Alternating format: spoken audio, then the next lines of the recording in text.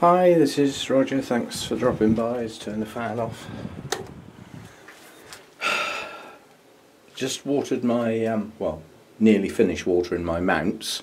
Had a look at the Dendrobium jenkinsii.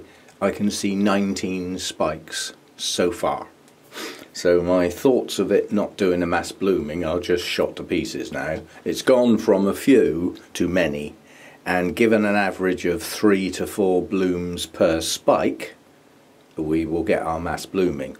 I got onto the Lindleyi and um, I didn't expect this to bloom. It's a young plant, yeah. It's it's a developing plant. It's come on from a seedling, and um, obviously you you know you tend to look at the latest growths, don't you? Which is this big this big one here, this big one here, and this one down here.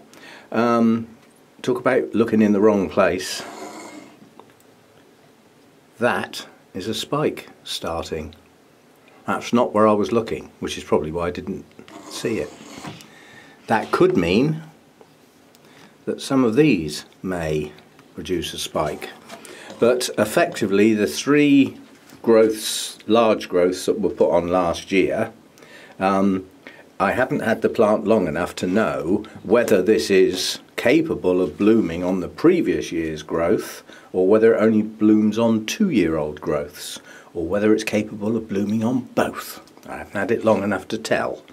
But that is definitely a spike.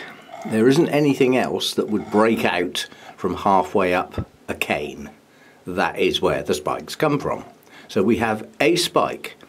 Now, what I've just said about the Jenkins Jenkinsii, with an average of three or four blooms, a good spike on a Lindleyi can have a dozen blooms. Um, the spikes on Lindleyi are pendulous and a lot more blooms. So I don't know what we're going to get, but we're going to get something.